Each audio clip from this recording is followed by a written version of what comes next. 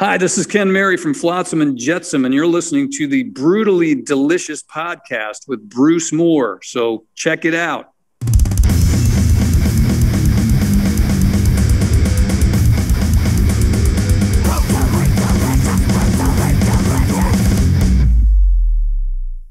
I think what I was going to say is I think the last time I saw you was, uh, I mean, the last show I saw probably, well, one of them was you guys on 70,000 tons. Yep. That was like just before this whole thing shut down. Yep. And actually, that was our last official show that we played at together. Really? Yep. So it's over a year then, way over a yeah. year. Yeah. It's, it's a year and a half since we played. Yeah. Wow. What's it like being having all that time off? I mean, obviously you worked on the record, and I'm imagining there was different writing processes for this. But what was that whole experience like? Well, it was pretty weird because we did have in Arizona at the time we were making this record, we had one of the worst outbreaks um, in the entire world. We had, in terms of infections per capita, Arizona was like one of the worst hit places in the world. Right. And uh, it, it, did affect us personally. AK's mother was, was in the hospital for eight weeks and she almost didn't make it. Uh, we had two guys in the band get sick. One of them took about five weeks to recover fully, and then another guy was sick for about five days. Um, we had to have photos taken, you know, where people were sick, and and we had to like, you know, socially distance during the photos. And right um, for the recording, for instance, you know, while AK was recording his vocals, you know, we did that at my studio, you know, which is where we recorded the drums and the vocals and that kind of thing. So, um, yeah, I was in the control room and he was in the tracking room, and we'd look at each other through the glass and wave hello, you know, and that's all. So weird, right? That's how we would see each other, you know, because we all have elderly parents we're trying to protect, and you know, it was, it, you know, it was a weird time, and and it was strange. It was, it obviously felt strange. We were very frustrated, and I think some of the anger and angst and frustration and some of the sadness and all of these things, all of these emotions were just kind of poured into this record. And I think honestly, it probably made for one of the most angry, aggressive, uh, and maybe one of the, you know, I, I, think it's one of the best Flotsam albums ever, in my opinion. You know, and I've been a fan for years. Like my favorite albums are the first two albums and the last three albums. I love the, I love the last three and the first two. Right. And and uh, and so it's so I know it's weird for me to say this as part of the band, but you know I, I, I normally can't listen to a record that I've been involved in the production in for you know when you by the by the time it's out, I've heard the songs you know over 200 times a piece, and you know to to have an album completed where I can still take the CD and and enjoy listening to it in my car is a very unusual thing, and that's the way this album is for me. That's good. And I know, uh, I know we were just talking about, you know, this whole pandemic thing. I think metal, and you can correct me if I'm wrong, might be one of the only genres where you can get away with channeling all that anger and make it a cathartic experience at the end of the day, right? Absolutely. It was a complete cathartic experience. you know, it's like I think we all poured everything, you know, that we were feeling into the record. And I, you know, I think it made for a a very powerful album. I mean, there's songs that you know that uh, you know AK wrote "Cry for the Dead," and you just listen to those lyrics, and it's like, oh my gosh, you know, like very moving lyrics on this album, and uh, and a very powerful record. Um, you know, I'm very very proud of it, as you could probably tell. Oh yeah. You know, it's just it's just sometimes you do records and you know we were so worried about it because the end of chaos was we we really poured ourselves into that album and we thought that was like an amazingly strong record and we were like how in the heck are we going to even you know you know we have to at least equal this record and so you know that was our goal when we started. We like we were like we gotta we gotta at least get as good as the end of chaos. And then you know i feel like we topped it you know? I feel like right. we actually went beyond it. And and it seems like the response from the press and and radio and everybody that's heard it so far seems to have that same response like wow you guys really found another gear and took it up a notch. And so you know for us that's just like you know that was amazing because oh, we yeah. were you know we were concerned. Yeah so do you find it this is record 14 i believe i saw. Do you find it difficult not writing the same record when it comes to sitting down to write a record? Does that make sense?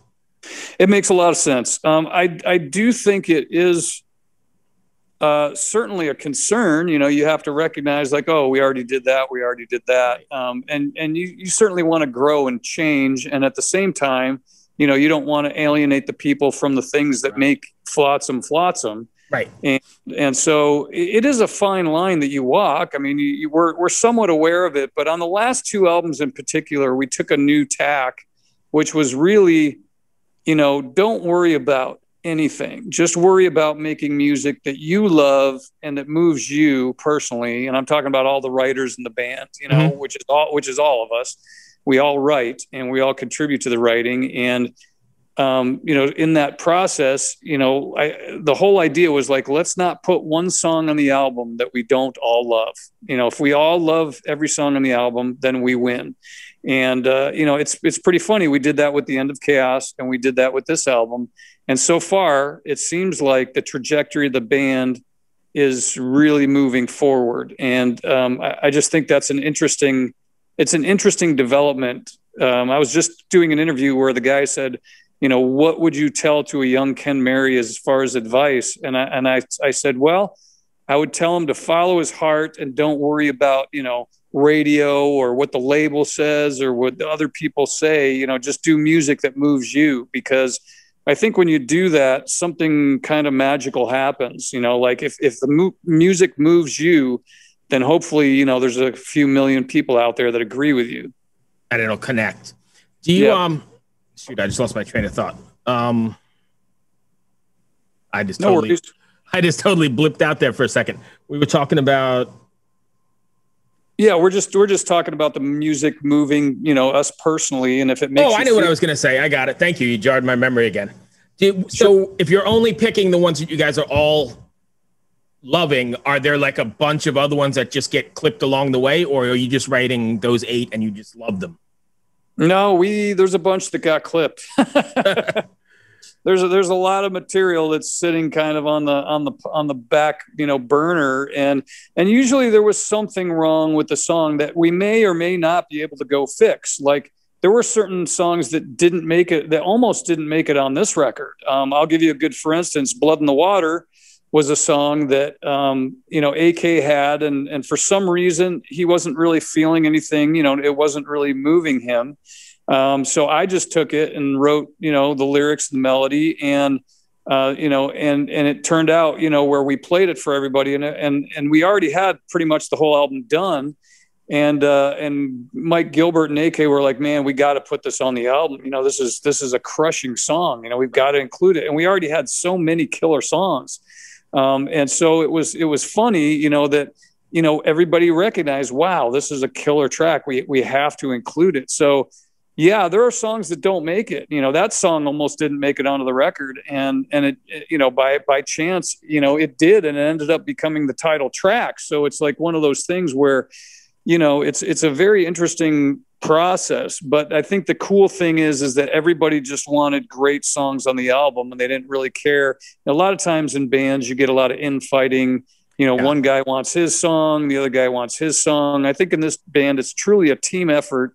And you know there's there's so many different writing patterns. Like you know ak wrote songs with steve and and steve wrote songs with uh, or i wrote songs with steve and ak and i wrote songs with steve and and mike gilbert and i wrote songs and mike gilbert and ak wrote songs and then mike a mike ak and i wrote songs so right. so there was like there's like huge combinations of different people working together to create stuff and somehow it all still sounds like flotsam. So it was a very wild chemistry that we we kind of we kind of feel like we sort of stumbled on. That's excellent. What's the uh I know with things opening up now, what's like your plan for the for shows or any kind of live events or is that not a thing yet? No, it is. We're going to try to go out. Uh, we're going to do. We're trying to do a two-week run in the U.S. in August, and just kind of see how that goes. If it goes, then we may extend it.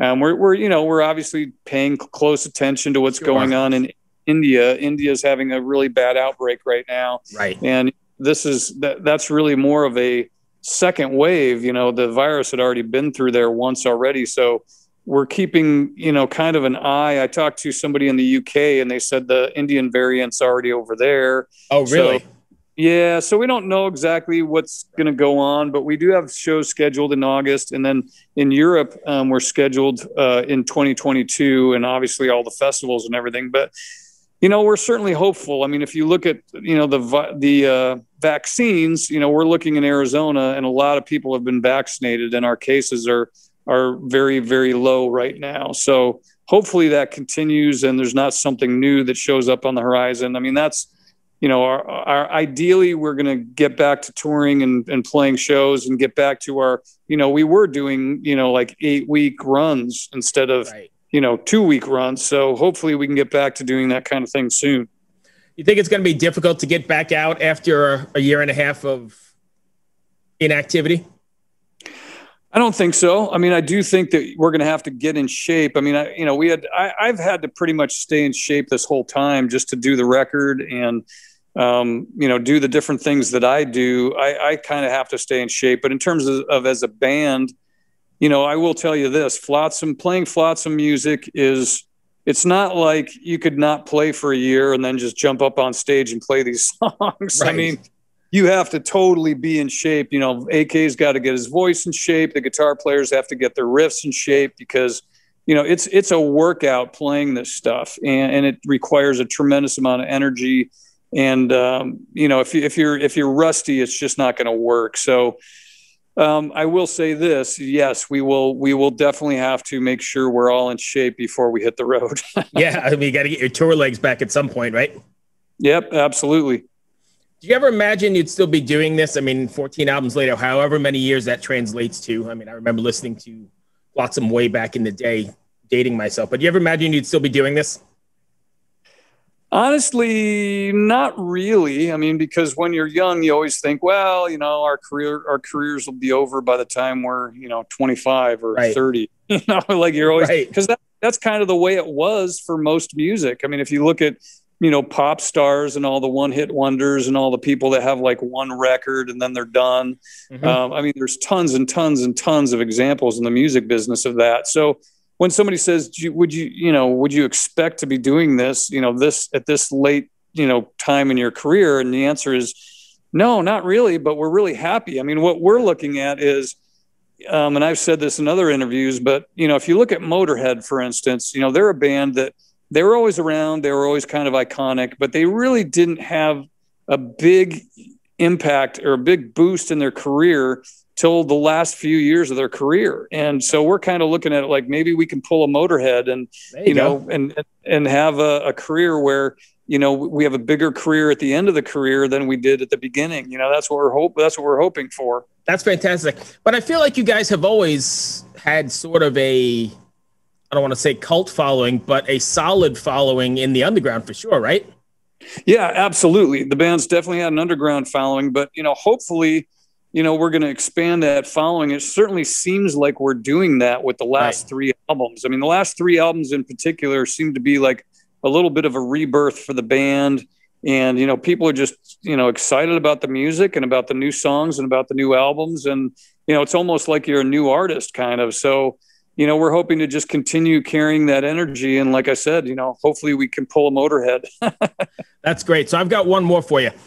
What's it like playing shows where people like myself are bringing their kids to the shows. I imagine you're getting like multiple generations, right?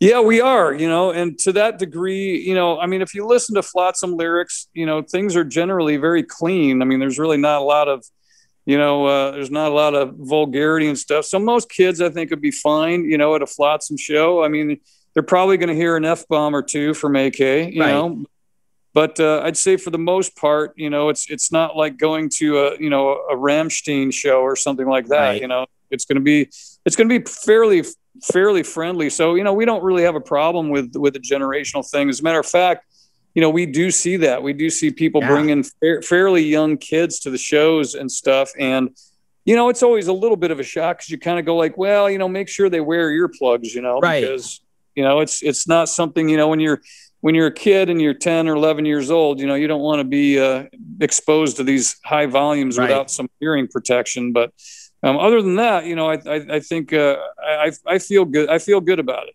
Yeah, I think that's pretty cool that you've been around long enough where, and you've got a fan base that's strong enough that they're bringing, you know the next generation to you and turning them on to you know great music. Absolutely. That's uh, that's always interesting to me, and I see that with some of the you know the other bigger bands as well. And I'm bringing my kids to shows for the last few years, and it's the same sort of well, not last year, but you know what I mean. Sure, it's the same sort of thing, and it's kind of cool, you know, bringing them to that sort of stuff. And it you're is. right, and you're right about the vulgarity and stuff. I mean, you might be one of the few exceptions I can think of that aren't, you know, dropping f bombs or dealing with really, really, really dark subject matter.